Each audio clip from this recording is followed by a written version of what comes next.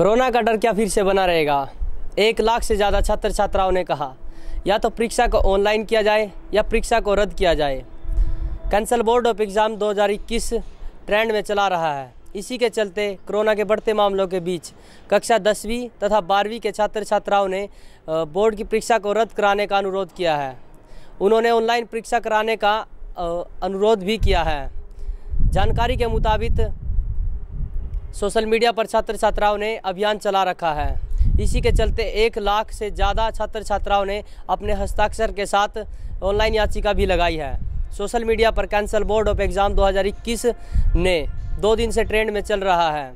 CBSE तथा CISCE ने कहा, परीक्षार्थियों के लिए जो परीक्षा केंद्र है, वहाँ पर पुख्ता इंतज़ाम किए जा रहे हैं। इसी के चलते कोरोना से संबंधित सभी दिशा निर्देशों का पालन किया जाएगा।